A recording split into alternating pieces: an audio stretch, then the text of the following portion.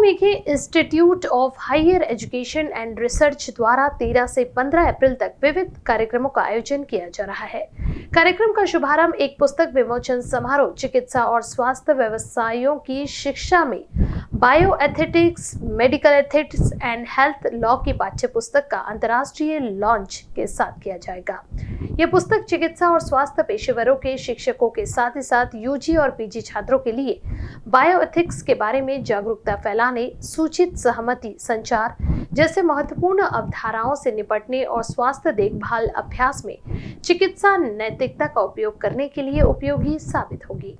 इस समारोह के बाद global network centre for bioethics and medical and health profession education का उद्घाटन भी किया जाएगा।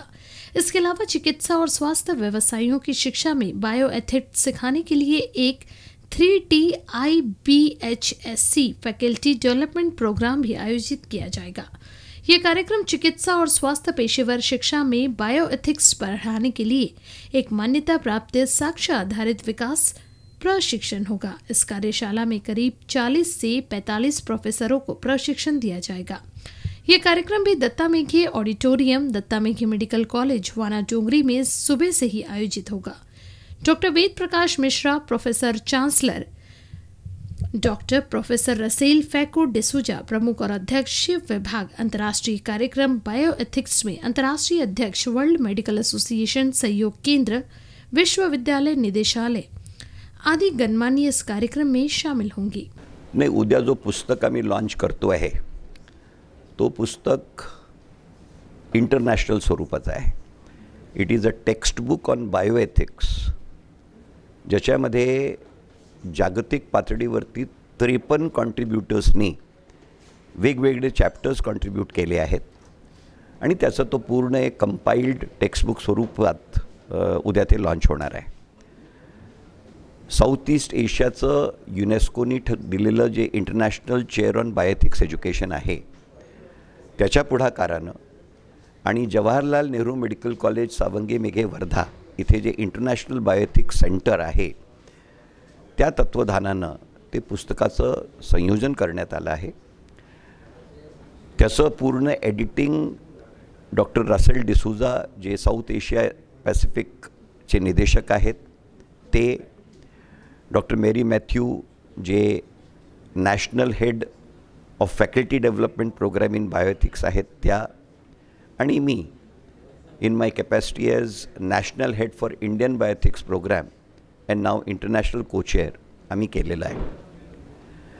मुख्य त्याच्यात नुसतं डॉक्टर पेशंट रिलेशनशिपपर्यंत मर्यादित नाही. शेवटी मेडिकल प्रोफेशन याला जोपर्यंत मानवीय स्वरूप येत नाही ज्याला आपण ह्युमनायझेशन म्हणतो जे युनेस्की युनेस्कोनी डिक्लरेशनमध्ये म्हटलं की प्रोफेशनला ह्युमनाईज स्वरूप आलं पाहिजे आणि प्रोफेशन हा सोशलाईज झालं पाहिजे. ते अभिप्रेत आहे. ते अंतर्निहितही आहे. पण त्या स्वरूपाला खऱ्या अर्थानं मूर्तिमंत करण्याच्या दृष्टीनं एक रीडिंग मटेरियल एक फॉलबॅक मटेरियल आपण जो म्हणतो जे लर्निंग रिसोर्स मटेरियल याची नितांत आवश्यकता होती. हे प्रयोग नाईन्टीन सेवन्टी नाईनमध्ये अमेरिकेमध्ये झालं बेलमॉन्ट रिपोर्ट त्या निमित्तानं निर्मित झालं. आणि कदाचित त्याच्याच एक लॉजिकल एक्सटेन्शन म्हणून या पुस्तकाकडे जर पाहण्यात आलं तर काहीही वावगं होणार नाही. जी आव्हानं आहेत प्रोफेशनसमोर समाजासमोर ती मोठी आहेत डॉक्टरांना या बाबतीत अवगत केलं पाहिजे. ते संस्कार ती मूल्य करिक्युलम किंवा पाठ्यक्रममध्ये असल्या पाहिजे. त्या दृष्टीनं देशात निश्चितपणे उपक्रम लॉन्च झालेले आहेत. पण त्या उपक्रमांना या टेक्स्टमुळे पाठबळ मिळेल. आणि त्या दृष्टीनं याचं पूर्ण समायोजन करण्यात आलं आहे. त्याचं लॉन्च उद्या होणार आहे. त्या पुस्तकाला जागतिक स्तरावरती आधीच मान्यता मिळालेली आहे. मग वर्ल्ड मेडिकल असोसिएशन असो मग world federation of medical association असो मग association for medical education in Europe असो मग युनायटेड स्टेट्स ऑफ अमेरिकेचं E C F M G असो या सगळ्या या सगळ्या आंतरराष्ट्रीय संस्थांच्या प्रमुखांनी त्या पुस्तकाला रिटर्नमध्ये दुजोरा दिला आहे. एन्डॉर्समेंट दिलेलं आहे. म्हणून त्या पुस्तकाचं एक मोठं वलय आहे. त्याचा एक मोठा आवाका झाला आहे. आणि त्या पुस्तकाचा लॉन्च उद्या नागपुरात आम्ही करतो इन न्यूज के लिए कैमरा पर्सन राजकुमार मोहड़ के साथ अभिषेक पांसे की रिपोर्ट।